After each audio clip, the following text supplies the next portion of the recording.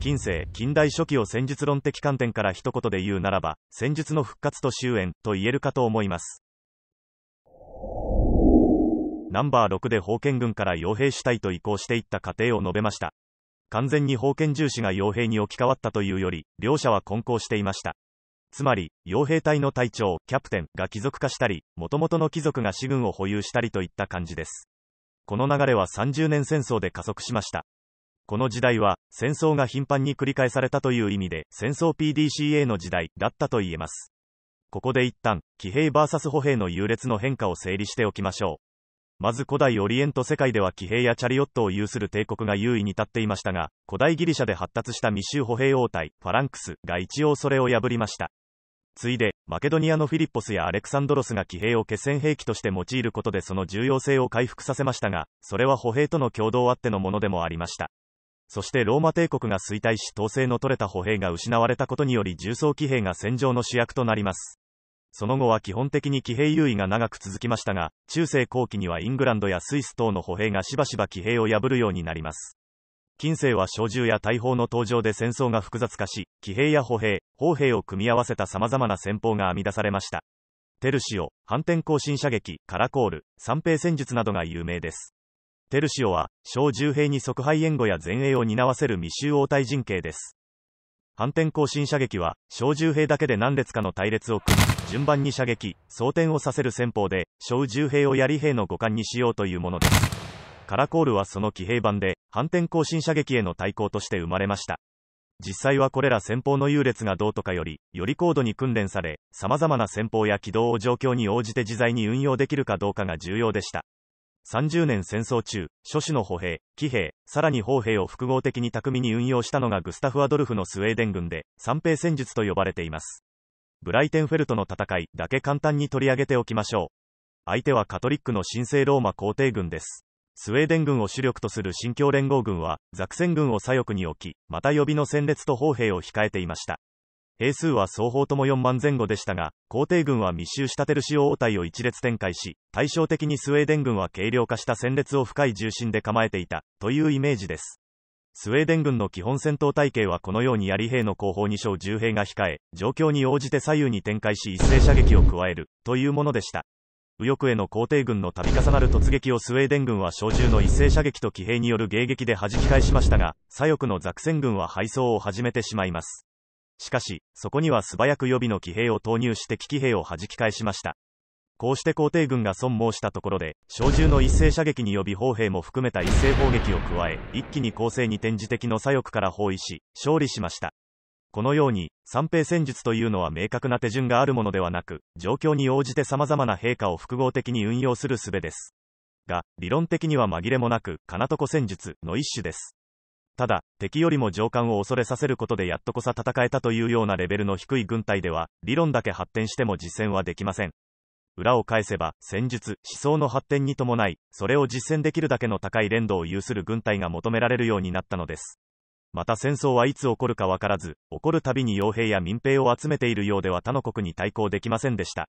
この危機感は、30年戦争が終結しウェストファリア体制が確立した後も君主たちに抱かれ続けます。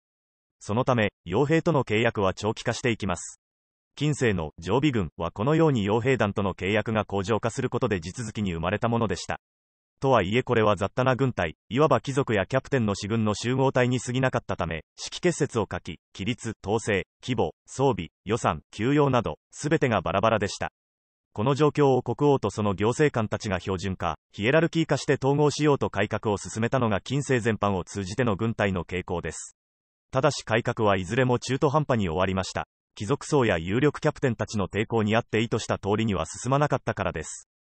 さて、30年戦争講和のウェストファリア条約で各国の領土が整理され固定化されることとなったためヨーロッパ内での戦争は限定目的の制限戦争要はキャビネット王としての性格を強めていきます。しかし一方で、常備軍とは定義から当然戦時、平時問わず維持されるものであり、そのためには莫大な資金が必要となります。それゆえ国家は富の蓄積を追求する重商主義、政策に走ることとなり、それと一体をなす植民地帝国主義、おつまりヨーロッパ以外の世界に対する侵略、略奪という戦争の原点回帰を引き起こしました。復元しておくと近代軍のもう一つの起源として、主として地域防衛を担った地方民兵や、それを藩として設けられた国王民兵もありました。給料の支払いが遅れたからとか、契約期限が切れたからとかで簡単に戦場を離脱してしまう傭兵団に頼るのはリスクがあり、中間層を排した直属民兵にはメリットがありました。若い男なら誰でも、半ば強制的に挑発し反復強連と規律を叩き込めば、団結心を有する優秀な兵士に仕立て上げられることも明らかにされていました。ただしフランス革命までは、主流は個人の加算である士軍であり続けました。プロイセンは大国に囲まれた小国であり、地形上も平坦で、常に侵略される危機感にさらされていました。そのためプロイセンでは軍事強国化が進められます。恒常的な国王課税による国庫の充実、また貴族制度と軍隊の将校団との一体化、つまり封建制的な領主、農民関係をそのまま軍隊における将校、兵士関係へ移行。さらには国王自らが質素倹約を旨とする軍人の模範となることで、一元的な統治体制と、規律、機動力を備えた高い連度の軍隊と有する強大な軍事国家となりました。その強さが最も発揮された、七年戦争におけるロイテンの戦いを紹介します。兵力はプロイセン軍3万6千、相手のオーストリア軍が倍の7万前後でした。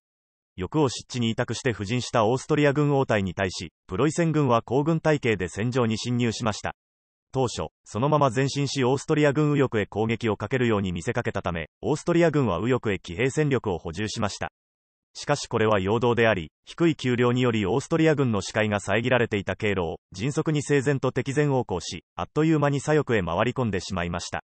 オーストリア軍も騎兵の投入や陣形変換等により対応しようとしましたがプロイセン軍が連度ではるかに上回り、中央付近まで崩された上で改装しました。数万規模の軍隊の戦闘で側面攻撃が完璧に近い形で成功したのは私の知る限りこのロイテンだけです。おそらく人口増加を最大の誘因として、よく知られているように18世紀末にイギリスとフランスで大きな革命が起きました。軍隊は慢性的な財政上の重荷となっており、その意味でその存在自体が革命の原動力の大きな一つでした。ただし1694年にイングランド銀行が設立され、信用の拡大と国内市場の統一が進んでいたイギリスでは理論上無再現の借り入れが可能であり、その上圧倒的な海軍力を有し植民地からの略奪経路も比較的安定していたため軍隊の維持に成功しており、革命は産業革命という形で起きました。それに対し、フランスではこのような金融システムを欠いており、かつ植民地政策ではイギリスに遅れを取っていたこともあり、革命は仮想階級による既得権益層からの強奪と既存身分制社会の破壊、いわゆる市民革命という形となりました。あえて負の側面を強調して言えば、フランス革命によって誕生したとされるフランス国民という一個の生命体、とりわけ国民軍とは、自らを養うために周辺諸国を侵略、略奪する必要に迫られた原初形態の戦争集団に他なりませんでした。始末が悪かったのは、この軍隊の中身はしかし、ナショナリズムという宗教に取り憑かれたいかなる観覧シンクも厭わない国民で構成され、しかも革命前に近世全般を通じて中途半端に施されてきた改革はしっかり受け継ぎ完成させてしまった圧倒的な規模と強さを誇る軍隊だったということです。細かい話を3つほど。まず、大砲の企画家、高性能化は1765年前後にグリボーバルが先導して推し進め、1776年にやっと軍隊に採用され、さらに高度な算術を要する砲兵運用が可能な砲兵将校を育てる学校も開設され、革命前夜には、数、機動性、高い精度を有する、野砲が運用可能な状態になっていました。次に戦闘体系については17から18世紀を通じて上手のように次第に小銃兵の割合が増すとともに重心が薄くなっていき、これに7年戦争前あたりから活躍し始めた三平と、高い機動性を有する突撃用の渋滞も組み合わせた混合体系がギベールによって革命前には提唱されており、1791年に革命軍はこれを採用しました。最後に編成については1600年代末頃には西欧全般で、傭兵団は標準化を起とした連隊という単位に整理されるのが典型となっており、その上位の師団という諸兵科共同単位は革命直前にブールセが発明し、1796年に標準となりました。フランス軍の戦闘における強さの秘訣は、これらが国民軍の登場により使用可能となったことでした。大規模な師団を戦闘単位とし、混合体系や警報兵を高速度で起動させ、鈍重な敵の前面、側面、そして背面も包囲し、殲滅する。つまり戦術思想自体に革新があったわけではありません。そして、戦術云々よりはるかに、数的優位こそがその強さの最大の要因でした。革命前のヨーロッパでは、農民や商人にとって戦争は大きな災いであり、王様や貴族様たちがまた迷惑なことやってら、に過ぎませんでした。これが国民国家の誕生によって国民戦争へと移行したことで、やがて国民を総動員する総力戦にまで拡大し、そして現代に至っては、ハイブリッド戦争などという恐ろしい戦争概念を生み出すまでに発展しました。話を先取りしすぎました。これらはおいおい解説します。ただ、総力戦の思想自体はすでに革命期フランスで生まれていました。1793年の国民総動員令が有名です。十分なインフラを欠いていたために中途半端にしか実現できなかっただけです。結局フランスは侵略、略奪のために戦争をし、その戦争を賄うために侵略と略奪を繰り返すという暴走状態に陥ってしまいました。ナポレオンの軍事面での新規性といえば、軍団の編成や参謀組織、各級司令部機能の強化などですが、これらは軍隊の大規模化に伴って自然と必要となったものでもありました。1812年のロシア遠征失敗後、ナポレオンは戦争に敗北し失脚しましたが、これは対フランス諸国がフランスを模倣して人民動員体制を築いたからであり、戦術的な観点からは、ナポレオンはそもそもそこまで並外れて卓越していたわけでもなければ、その戦術が破られたから敗北した、というわけでもありません。戦術はもはや大規模化した戦争を決定づける主要因ではなくなったのです。ナンバー2で戦略と戦術の区分を紹介しましたが、重要なのはそれらの細かい定義や区分なんかより、これらの用語がこの時代に登場した意味です。つまり、それまで兵法や傭兵術などと漠然と一色たにされていた戦争遂行のための理論や思想が、戦略と、それに従属する一部としての戦術として整理される必要が生まれたということです。さて、対フランス諸国は大規模動員体制を整えたと述べましたが、その中でも軍を抜いて洗練された軍事国家体制を築き上げたのがプロイセンでした。近代官僚制の起源は軍隊と言われます。しかし明確にそれがいつ、誰によって完成されたのか、という問いに答えるのは難しいでしょう。近世全般を通じて醸成されていったものです。